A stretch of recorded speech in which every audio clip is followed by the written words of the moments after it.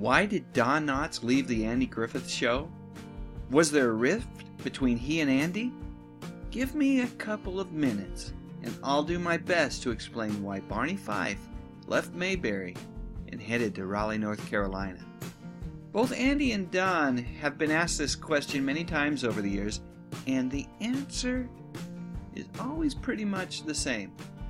So Andy had always planned for the show to run for five seasons, and when he talked to Don Knotts, that's what he told him.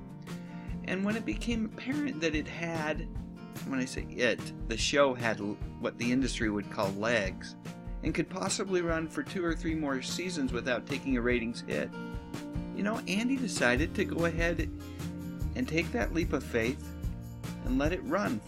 But Don thinking that the show was going to end after its fifth season, had already started talking to a number of different movie studios and had received an offer from Universal Studios that, frankly, although he wasn't contractually committed to it, he felt like a gentleman's agreement had been made and he felt like he needed to move forward with that offer.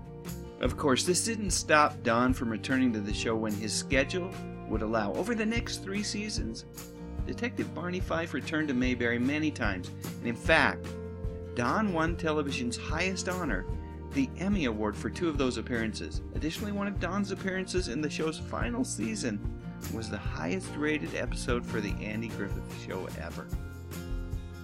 And while it was somewhat disappointing that Deputy Barney Fife was not a regular cast member after season 5, we got some great movies during that time.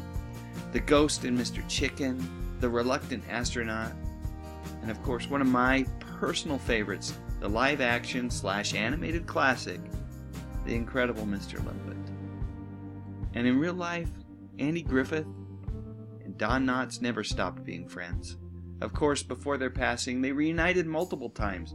There was a television movie called Return to Mayberry where they reprised their classic characters. And then later, during the final four seasons of Griffith's successful courtroom drama Matlock, Knotts returned to play Ben Matlock's pesky but lovable neighbor Les Calhoun in numerous episodes. So that's it. End of the day, Barney never really left.